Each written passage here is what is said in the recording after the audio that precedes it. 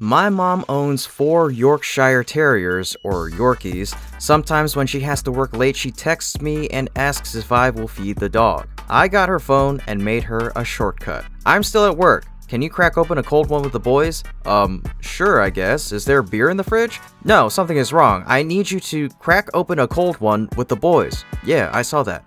No, my phone is doing something weird. Can you please crack open a cold one with the boys?